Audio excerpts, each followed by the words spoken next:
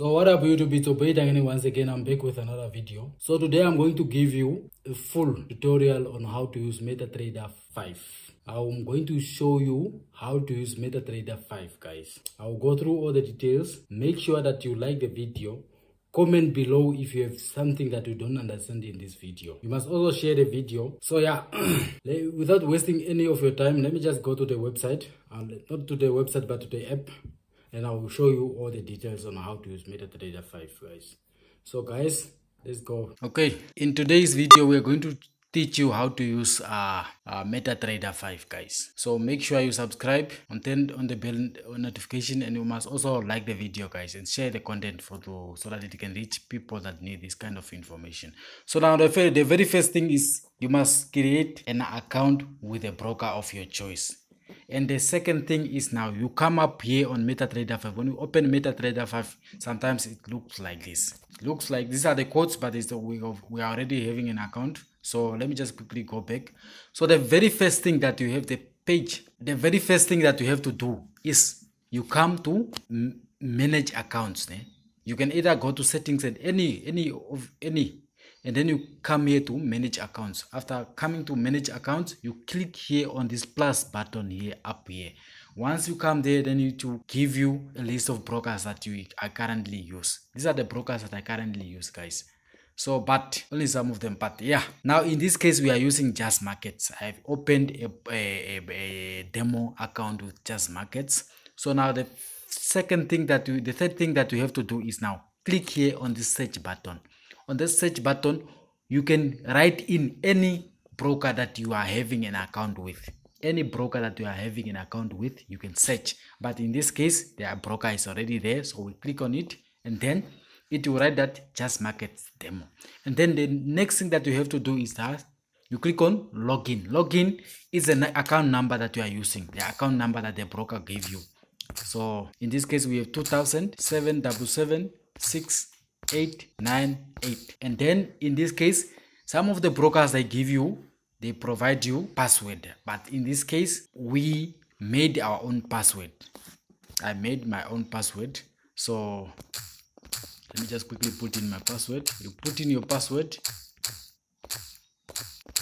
Make sure that it's the right password because it will fail if you didn't put in the right password. And then the next thing is you the next thing that you can do is uh, click here on login. Once you click on login it will go to the account that you that you that you created. As you can see here that is my account guys. Currently we have 400 us um za. It's a demo account guys. It's a demo. I'm just trying to give you i'm just trying to show you how to do it. And then then the next thing that you have to do is you come here at the quotes now. At the quotes here are the pairs that you use pairs that you trade. In this case we click here on that plus button and then you come to forex market forex m we come to we choose euro usd gbp usd these are the only pairs that i trade guys. Silver and gold. And then we come to crypto. Crypto i trade uh bitcoin uh bitcoin. I trade uh bitcoin. Okay. Then from there these are the pairs that i trade. So if you want to add or if you want to to remove some you just click here and then you click on this uh dust dustbin. And then you choose the pairs that you don't want to see on your on the list of pairs that you trade that you like to trade. So yeah. And then you delete them. And then it will be a list of uh, pairs that you trade.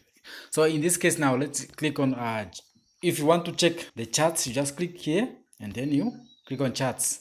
And then the charts will come up. Now the next thing that you have to do is now if you want to place a trade guys. If you want to place a trade it is quite obvious here. It is quite obvious here you just click on sell a button here. That's this is sell that you see here up here if you want to sell. Now let me check. Let me show you now how to sell. Okay we are selling. Okay you click here. I accept the terms and condition and then you click on okay and then you go back again and then you click sell then it will come. How to place a stop loss now? In this case you just click on the on the screen on the cell and then you see here. You see you click on sl if you want to close you can just close or if you want oh, to to, to, to, to, to, to, to put on a stop loss you click on stop loss and then you move this thing. You move this thing. You see it shows the amount that you are willing to lose on this trade. And then if you want to put a tp you click on tp and then you move this one. Anywhere you want to place it. In this case we want to place it here. And then you click where? It is arrow. It is arrow the blue arrow on the uh, right side then you click it and then you click modify.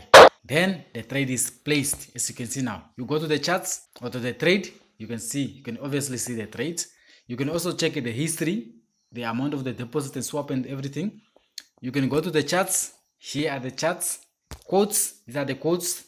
So now if you want to go and place certain things or moving averages to the on the screen or on the charts you just click here. That you just click here. I don't know why it doesn't okay yeah. Then you click there once you click there once and then if you want to add anything there if you want to add anything you, if you want to move to time frames now if you want to move time frames m1 m5 m15 m30 h1 h4 if you want to move time frames you can just switch like that. It's very easy guys. It's not something that is difficult.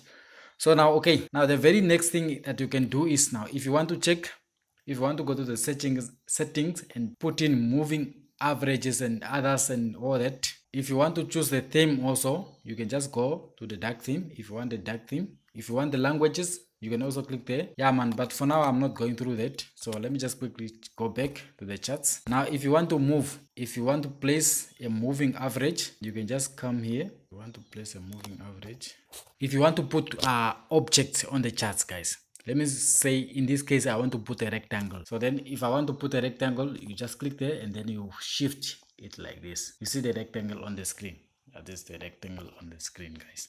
So now the next thing that you have to do if you want to add a moving average if you want to move a, to put a moving average you just click here. If you want to if you want to put an indicator you just click here and then it comes to indicator. And then if you want to put a moving average just come here. Moving average later and then you click here the moving average. You choose any style that you want and then you set it. You save. You see this is the oscillator now. Oscillator indicator to the downside now. If you want to move uh, the main chart if you want to add on the main chart you just click here and then you add the moving average. And if you want to check if you want to change the period you just go click here and then it will give you the periods that you want to check now. In this case we just choose uh, 50 and then you put it on like that and then it will be obvious on this on the charts here as you can see guys.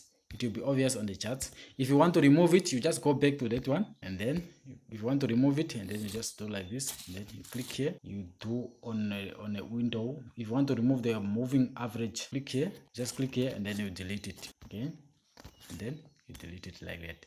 It's quite easy guys if you have anything that you want to know about this what we discuss on the radio drop your comments in the comment section. Share the video guys so that it can reach the people that need this kind of information. And like the video guys. So yeah thanks for watching guys